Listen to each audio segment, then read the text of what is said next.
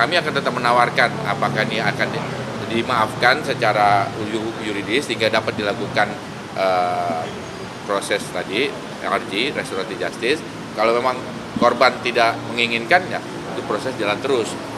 Proses RJ itu dilakukan apabila kedua belah pihak memang menginginkan perdamaian gitu, dan tidak ingin melanjutkan lagi perkara ini. Tapi kalau salah satu pihak tidak bisa tapi tidak menginginkan ya seperti bertepuk sebelah tangan namanya masih ada ya Pak uh, terkait dengan peluang restoratif proses itu masih bisa dilakukan pada tahap uh, limpahan tadi ke kami tetap kami akan tawarkan.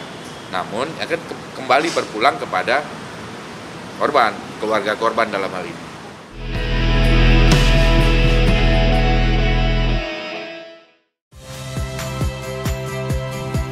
Saya Cynthia Rompas.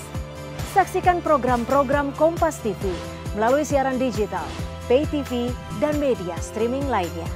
Kompas TV, independen, terpercaya.